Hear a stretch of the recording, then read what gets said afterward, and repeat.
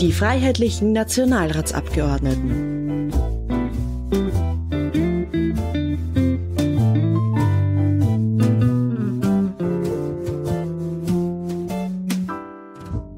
Susanne Fürst. Ich bin stellvertretende Clubobfrau der Freiheitlichen Partei und Verfassungssprecherin und Sprecherin für die Außenpolitik. Wo sind Sie geboren? Wo wohnen Sie aktuell? In Linz in Oberösterreich gilt für beides. Geboren und immer dort gelebt und auch nach wie vor. Was sagt man gerne in Ihrer Gegend? Von nichts kommt nichts. Wohin in Österreich fahren Sie gerne für einen Ausflug oder auf Urlaub? Das Mühlviertel in Oberösterreich. Es ist eine sehr raue Gegend. Die gefällt mir sehr gut mit Menschen, die eigentlich wirklich mit ihren beiden Beinen am Boden sind. Was schmeckt Ihnen? Das Lieblingsessen war immer und wird wahrscheinlich immer bleiben Marillenknödel. Getränk, da bin ich etwas variabel. ähm, Kaffee, ähm, Rotwein, und manchmal, vor allem während Plenartagen, manchmal einen Whisky. Ihre Beziehung zu Sport und Bewegung? Mein einziger Sport besteht darin, dass ich alles, was irgendwie möglich ist, zu Fuß gehe. Wie sind Sie am liebsten und häufigsten unterwegs? Sofern möglich zu Fuß. Alles, was irgendwie erreichbar ist, äh, gehe ich zu Fuß. Das Motorrad nie. Das Auto auch sehr häufig, auch für Linz-Wien, seit unsere Züge äh, erhebliche Verspätungen aufweisen in regelmäßiger Weise und auch seit der Corona-Zeit haben sie es ein bisschen vertan mit mir. Flugzeug nur sehr selten für Reisen in fernere Destinationen. Haben Sie Haustiere? Ich hätte liebend gern welche, aber ich habe keine Zeit und das ist mein Projekt für meinen Ruhestand. Am ersten Tag werde ich wieder Katzen haben, wenn möglich zwei oder drei und wenn es geht, dann auch gleich einen Hund dazu. Wie entspannen Sie am besten? Zu Hause, bei meiner Familie, mit Lesen und mit Schweigen. Wobei werden Sie schwach? Bei Marillenknödel, wie erwähnt. Bei meinem Mann. Was kann Sie aufregen? Wie vieles heutzutage. Heuchelei, ist mir besonders widerlich. Und ich reg mich über alles auf, was aus meiner Sicht unserem Land schadet. Wem wollten Sie schon immer was sagen? Da Sie beide nicht mehr am Leben sind, meinen Eltern würde ich gerne noch einiges sagen. Vor allen Dingen danke für so vieles. Welche Person hat Sie geprägt? Nein, ich will nicht sagen Vorbild oder dass mich jemand geprägt hätte in der Geschichte, aber es gibt einige Personen, mit denen ich mich gerne unterhalten würde. Zum Beispiel mit Helmut Kohl, zum Beispiel weiter zurückliegend mit Reichskanzler Bismarck, einem, mit einem Lebenden, zum Beispiel mit Donald Trump.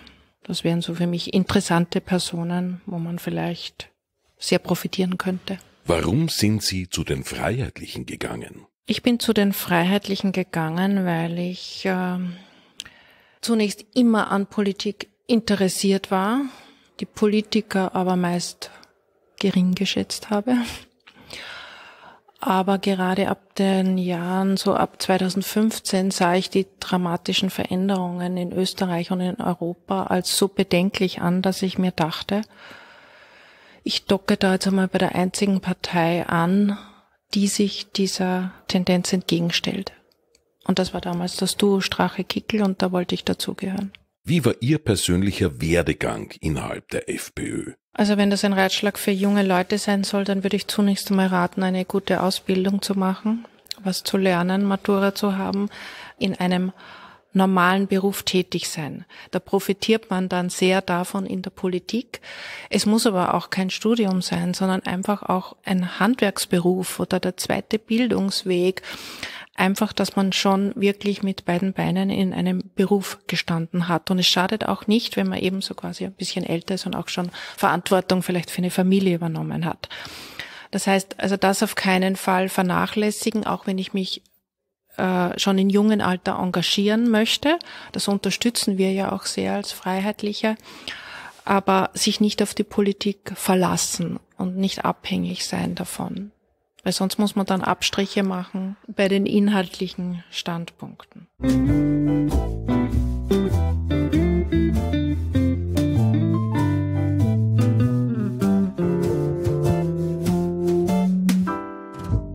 Martin Graf, Abgeordneter zum Nationalrat, dritter Präsident des Nationalrates außer Dienst. Äh, Wissenschaft und Forschung längst Dienst Ausschuss Obmann, Sport und Außenpolitik. Meine derzeit wichtigste Funktion meines Erachtens ist der Vizepräsident der European Conservatives and Democratic Alliance im Europarat. Das ist die schnell wachsendste Organisation im rechtskonservativen Bereich in der Parlamentarischen Versammlung des Europarates. Wo sind Sie geboren? Wo wohnen Sie aktuell? Bin in Wien geboren, wohne in Wien, wie immer in meinem Heimatbezirk Wien-Donaustadt und zwar konkret in Wien-Kagran. Was sagt man gerne in Ihrer Gegend? Geht nicht, gibt's nicht. Wohin in Österreich fahren Sie gerne für einen Ausflug oder auf Urlaub? Auf jeden Fall die alte Donau als Freizeitparadies und Mariazell in der Steiermark. Was schmeckt Ihnen? Saisonabhängig, aber durchgängig Wiener Schnitzel vom Schwein natürlich und als Getränk äh, gerne mal ein Glas Bier, guter Weißwein zu manchen Essen, guter Rotwein zu manchen anderen Essen. Ihre Beziehung zu Sport und Bewegung? Sportarten äh, nahezu alle. Mein Interesse gilt aber zu 99 Prozent im Fußball und da insbesondere meinem Verein, wo ich seit fast 60 Jahren aktiv als Spieler Sponsor, Funktionär und in den letzten 20 Jahren als Präsident tätig bin und das ist der FC LSK Grane in der Wiener Landesliga. Wie sind Sie am liebsten und häufigsten unterwegs? In Wien zu Fuß und öffentlich, in Österreich Strecken bis 300, 400 Kilometer mit dem Auto.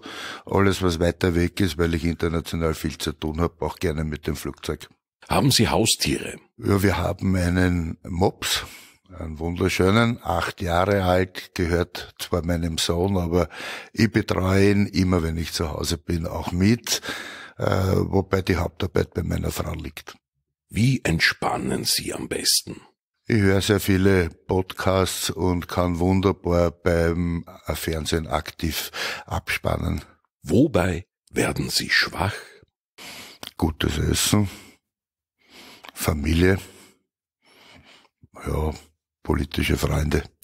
Was kann Sie aufregen? Eigentlich gar nichts mehr. Nach so einer langen Karriere in der Politik, Wirtschaft und verschiedensten Berufen, selbstständig, unselbstständig, ich habe nahezu alles schon erlebt, aber immer wieder kommen neue Dinge, aber aufregen kann mich eigentlich nichts mehr. Wem wollten Sie schon immer was sagen? Getraut habe ich mir immer alles zu sagen, würde ich meinen. Äh, wahrscheinlich habe ich mit zu wenig Nachdruck dem Heinz-Christian Stachel gesagt oder zu wenig gesagt, dass er in der Partei bleiben soll. Welche Person hat Sie geprägt? Ja, politisch ist es für mich eindeutig der Republiksausrufer Franz Dinkhofer, Ehrenmann und einer der meist unterschätztesten Politiker der Zwischenkriegszeit. Warum sind Sie zu den Freiheitlichen gegangen? War schon Klassensprecher, Schulsprecher, nie bei den anderen Parteien immer geschaut auf Unabhängigkeit, äh, Freiheit und ähnliches. Und für mich war es selbstverständlich, als Student zu den Freiheitlichen Studenten zu gehen und dort mich aktiv einzubringen. Wie war Ihr persönlicher Werdegang innerhalb der FPÖ? mühselig, langwierig, ausdauernd. Ideologische Festigkeit muss man mitbringen und wahnsinnig viel Geduld.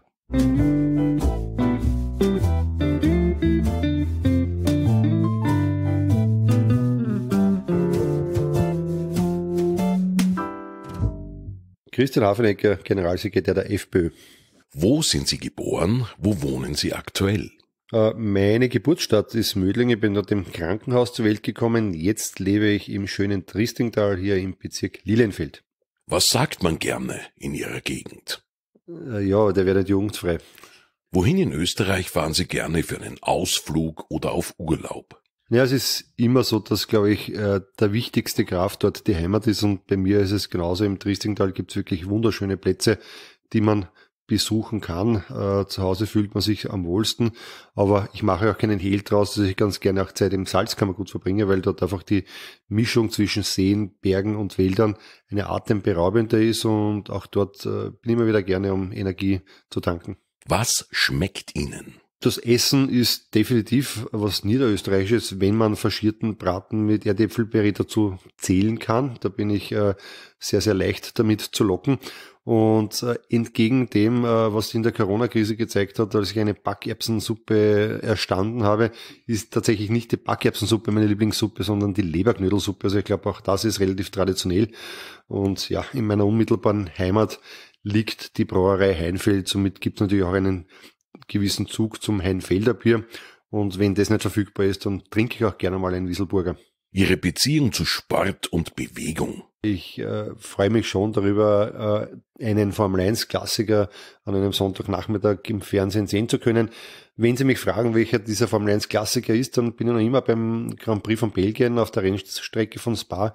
Meines Erachtens einer der interessantesten Grand Prix, die bei mir quasi nie ausfallen.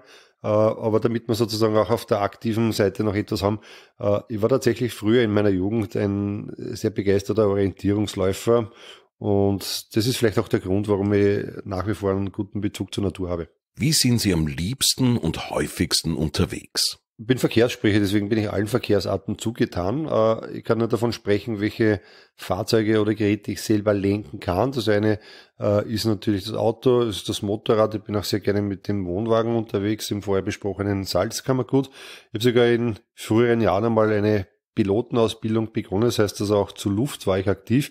Ich habe einen Bootsschein, also alles, was irgendwie einen Motor hat und einen Lärm macht und äh, ist etwas, dem ich grundsätzlich zugetan bin. Aber selbstverständlich nimmt man für längere Strecken auch äh, hin und da eine schnelle Bahnverbindung in Anspruch. Nichtsdestotrotz, Mobilität äh, fasziniert mich seit jeher und deswegen kann ich auch immer ein bisschen was abgewinnen, außer vielleicht äh, irgendwelchen woken, äh, grünen Spezialfahrrädern. Haben Sie Haustiere? Nein, habe ich leider nicht. Äh, das wäre wirklich äh, ein respektlos gegenüber Tieren, wenn ich jetzt sozusagen ein Tier zu Hause hätte, um das man sich nicht kümmern kann und deswegen gibt's auch keines. Wie entspannen Sie am besten? Äh, das ist interessant. Es gibt, es gibt eine Serie auf D-Max, die heißt Goldrausch in Alaska. Ich weiß nicht warum, ja, aber die ist dermaßen inhaltsleer, äh, dass man die durchaus zum Entspannen gefällt und, und das schaue ich mir dann einfach immer wieder an. Das äh, plätschert so dahin, äh, ist hochinteressant. Was ich aber auch gerne tue, ist, äh, setze mich dann ganz gerne in mein Büro äh, bei einer guten Musik, die ich mir auflege. Also gibt es mehrere Varianten, das zu genießen im Urlaub ist es so, dass man sich einfach dann mal ans Meer setzt und ein bisschen nachdenkt. Wobei werden Sie schwach? Ja, schwach werde ich dabei, wenn mich meine Tochter um etwas bittet. Also die ist jetzt zehn Jahre alt und weiß ganz genau, wie sie den Herrn Papa in die richtige Richtung lenkt und da äh, habe ich bis jetzt noch kein Gegenmittel gefunden. Was kann sie aufregen? Mich regt Dummheit massiv auf und äh, wenn man sich gerade die Bundesregierung anschaut, dann kann man sich vorstellen, wie mein Aggressions- und mein Aufgeregtheitspegel momentan ist. Dummheit an allen Orten und genau deswegen gilt es auch, damit abzufahren und nächstes Jahr eine vernünftige Regierung zu bekommen. Wem wollten Sie schon immer was sagen? Äh, es war tatsächlich so, äh, dass es gerade in meiner Familie auch Todesfälle gegeben hat, wo gewisse Dinge nicht äh, besprochen worden sind. Ich muss aber ganz ehrlich sagen, es war wahrscheinlich meiner damaligen Jugend geschuldet. Mittlerweile ist es so, dass ich solche Gelegenheiten nutze, weil ich weiß, sie kommen nie wieder und man denkt dann ewig drüber nach. Welche Person hat Sie geprägt? Äh, das war definitiv mein äh, Großvater väterlicherseits, der mit dem ich einfach als Kind viel Zeit verbracht habe, der mir sehr viel fürs Leben mitgegeben hat und den ich auch insofern als Vorbild sehe, dass wenn irgendwann mal die aktive politische Karriere vorbei ist und auch hoffentlich bei mir Enkelkinder anstehen, äh, wo ich zumindest ansatzweise versuchen möchte, das mindestens genauso gut zu machen, als das mein Großvater damals gemacht hat. Warum sind Sie zu den Freiheitlichen gegangen? Das war damals äh, ein Ärger darüber, dass sie Rot und Schwarz einfach die Republik aufgeteilt haben. Es hat damals einen gewissen Al-Qaida gegeben, der genau dieses System aufbrechen wollte. Hat er ja auch nachhaltig geschafft, wie wir heute wissen. Und das war für mich der Antrieb dazu, mich bei den Freiheitlichen zu engagieren. Wie war Ihr persönlicher Werdegang innerhalb der FPÖ? begonnen hat sie in der Jugendbewegung, in äh, ringfreiheitlicher Jugendlicher. Sie ist dann bei dem, beim Ring freiheitlicher Studenten weitergegangen und schon relativ bald mit 20 Jahren äh, in die Kommunalpolitik. Mit äh, 30 war ich dann im Landtag tätig. Ja, und heute darf ich Generalsekretär der Partei sein, der ich vor mittlerweile, naja, wenn man nachrechnet, eigentlich fast 25 Jahren beigetreten bin.